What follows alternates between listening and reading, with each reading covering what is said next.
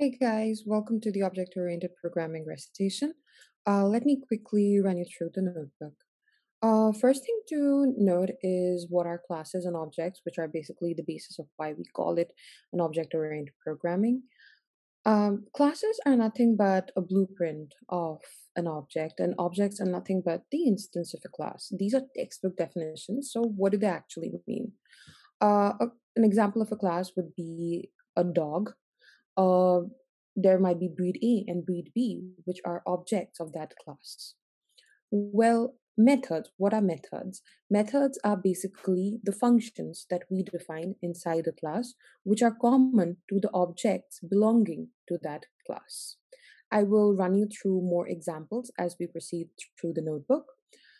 Let's come to constructors as well and just define it. Constructors are nothing but they help in initializing new objects. So now that we know the very basic definitions, let's uh, dive into the notebook so that we actually get to understand. So as you can see here that uh, whenever we are defining the class, for example, you can see the class car here being defined, you can see two methods that are being defined inside the class car, which is the def init and the def accelerate.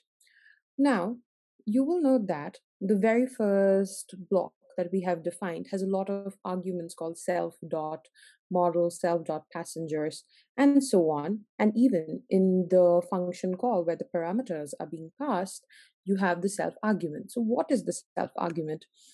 Uh, the self argument, you must remember, has to be defined whenever we are trying to refer to the specific instance of that object that it's being operated upon. So, for example, in this class car, uh, if we have two objects being defined of the type car, then uh, if you can see, it's BMW, Ferrari, Ford. So these are three objects which are under the subheading of the class called car. The def init is basically called the constructor. Uh, what is a constructor? Like I mentioned, it is used for initializing the uh, class what does it initialize? It initializes things called class attributes or instance attributes. In this case, def init will have instance attributes. Instance attributes are nothing but the properties or that are defined inside a method. So uh, therefore, self.model, self.passenger, self.color, self.speed are all instance attributes. But if I were to uh, define an attribute which is outside a method, then that would be common to all the objects of a class. That wouldn't be individual to the different instances that are defined in a class. For example, BMW would have the same mileage as Ferrari or Ford, but BMW's model would be different from that of Ferrari's and Ford, if that makes sense. Okay. And uh, the init method specifically is basically just known as the initializer or the constructor, which basically makes sure that all the attributes that are mentioned are validly instantiated. Uh, so basically, we have gone through this whole portion. As you have seen, I have passed parameters separately for BMW, Ford, Ferrari, and accordingly i have uh, printed out the different attributes and i have also called the function accelerate where uh, basically the speed for that particular car has been printed out uh, let's move on to the very interesting topic of inheritance uh, which is one of the most important things in object oriented programming. Well, inheritance is basically when we have one class inheriting the other class. The class which is getting inherited is called the parent class. The class which is inheriting the parent class is called the child class. So that's a very basic definition. One of the main uses of inheritance is reusability. Now, what do we mean by that? We can just run through the notebook and understand. So here we have uh, the parent class called person. We have the constructor defined. We have a method called print name defined. Inside the constructor, we have instance attributes, first name, last name. Uh, we are passing parameters John and Doe into uh, the class when we define x as the object of person. And what we are doing is here in the print statement, we are printing out uh, the first name and the last name. That is, we are printing out uh, uh, the instance attributes. Then we create what is known as a child class. So as you can see in the class definition, when I'm defining class student, I am passing person into the class definition. That means that everything that belong to class person becomes a part of class student. So now, if I access x dot print name inside class student by passing Mike and Olson, then it will go into the constructor for class person and use the method of class person and will print out x. So that's uh, what inheritance does basically. Now, uh, we may want to separately define the init uh, method. We do not want to use the constructor that was used in class person. In that case, we can define a separate instructor for class, I mean constructor, sorry, for class uh, student.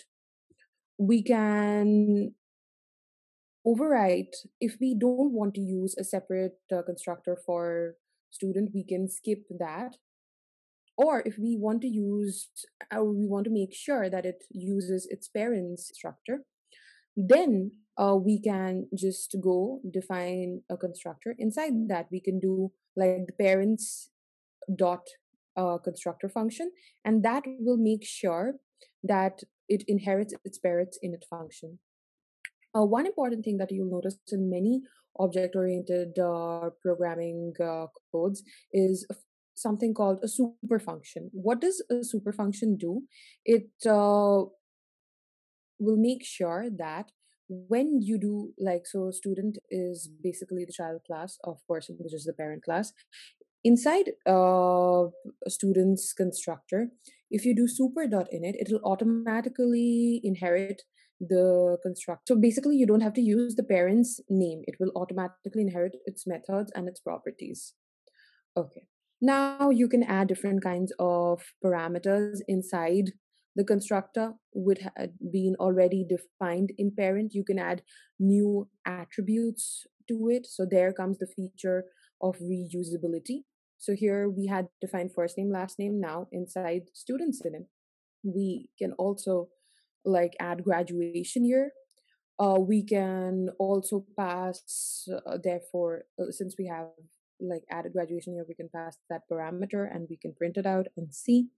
We can also, apart from the existing methods that the child has got from its parent, we can also uh, add in new kinds of methods uh, which will become a part of the class student along with the previous method it had inherited from its parent's class person. So in this case, we have uh, a function called def welcome, where basically we are uh, printing out like a statement. So we can do uh, these kinds of features as well. Okay. Now uh, we're going to talk about. So this we talked about was nothing but single uh, inheritance, since there was only one child from the sub branch of person. Okay. Moving on, now we're going to talk about multiple uh, inheritance, in which now uh, we are basically taking one child and taking two parents. So we are inheriting from two parents. That would be multiple inheritance, a single child from two parents. A simple example would be we have a class mother, we have a class father, and we have a class son, which inherits both from mother and from father. So class son will have access to uh, both of the functions, def mother and def father, which are defined in those uh, parent classes uh, respectively, and uh, also to their class attributes, which son will have access to. So you can quickly run the code and check it out. It's very simple. Okay, moving on to multi level inheritance. What is multi level inheritance? Multi level inheritance is, for example, between grandfather and child. So you have a parent class, you have a class inheriting the parent class, which is known as the child class, and a newer child class, which inherits the previous child class. So grandchild class will not only have access to child class, but will have access to the base class as well. So a very simple thing that you can note here is in base class, we have defined a method called get name. In child class, we have defined a method called get age in addition to it having get name already. Grandchild has a new method called getAddress.